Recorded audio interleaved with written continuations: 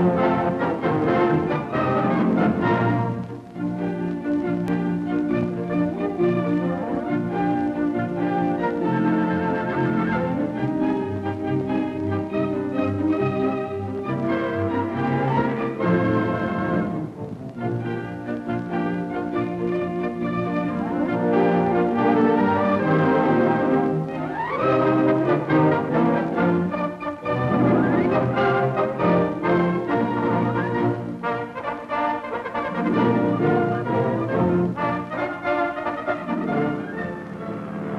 film is intended to impress on your mind the procedures you should follow instinctively in the event of an emergency at either high or low altitude.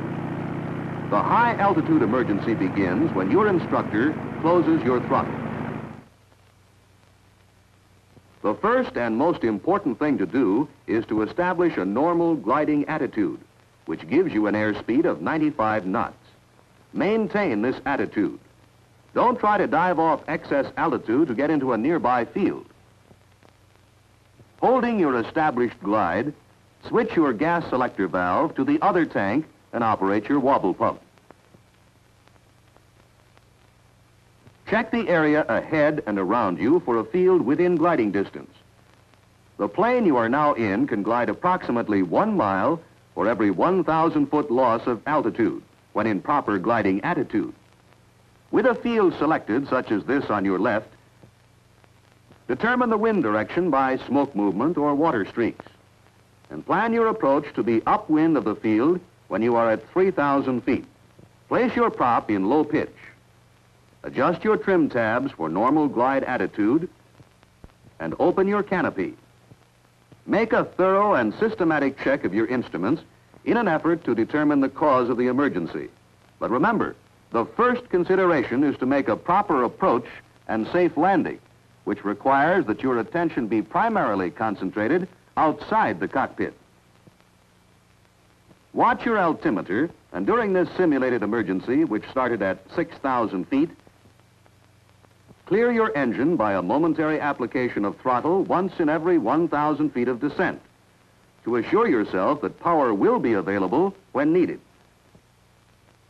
Try to plan your approach so that when you are at a 45 degree angle from your landing point, the number one position, you will be between 1,200 and 1,500 feet and ready to begin your landing approach.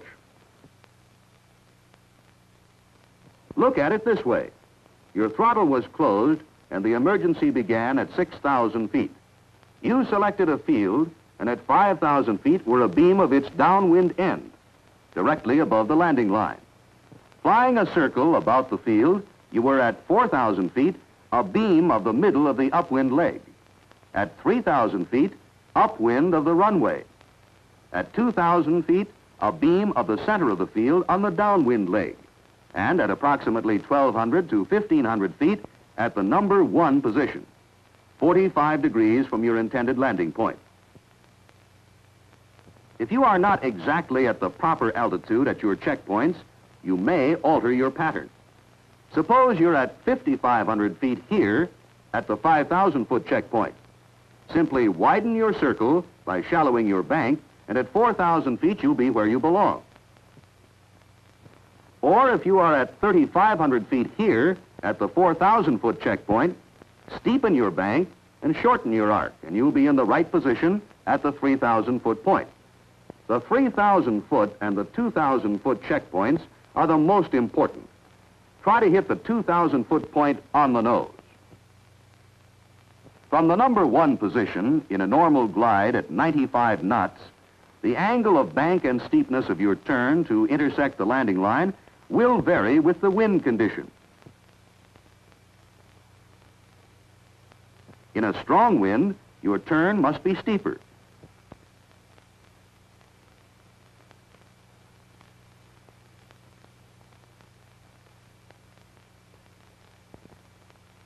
In no wind, you may have to cross the landing line and make an S turn to return to it to give yourself 150 feet of altitude with 800 feet of straightaway.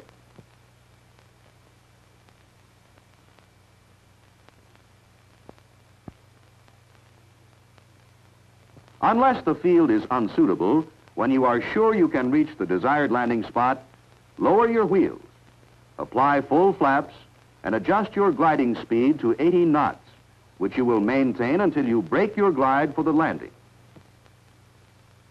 Here is how it should look to you.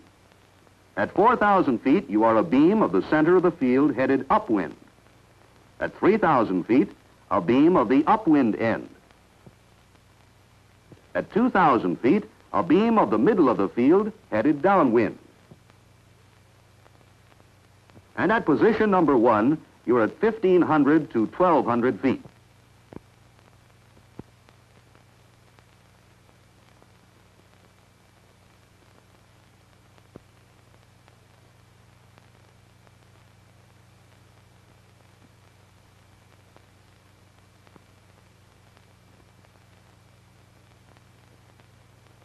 The completion of your landing approach, if properly executed, should appear like this.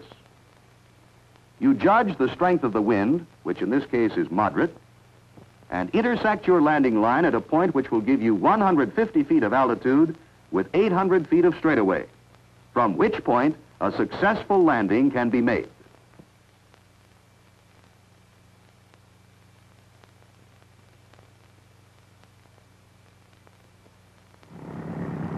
In a low altitude emergency, simulated or actual, you must act instantly. The emergency usually begins after a takeoff. Never try to get back to your field. Remember, never try to get back to the field from which you just took off. You must learn to instinctively put the nose down and establish a gliding attitude. Then look for the best possible place to land. Say your engine cut out here as you are starting a climbing turn. Immediately establish a glide. Raise your wheels and look for a place to land. To you, it might appear like this. You've just become airborne after a touch-and-go landing. You started your turn and are in a climbing attitude when your engine cuts out. You immediately put your stick forward with a positive movement and establish a normal gliding attitude. You depress the power push and raise your landing gear. Then set your propeller in full low pitch. Then you select a spot for landing that you can reach. Don't try to stretch your glide or make a steep turn, and you go in for your landing using flaps when necessary. If you can find no suitable spot, make a full stall landing into the wind. Never try to stretch your glide as this man did. Never try to turn back to the field from which you took off, as this man did. Always land straight ahead or at a very slight angle. And if no landing spot is available, make a full stall landing into the wind.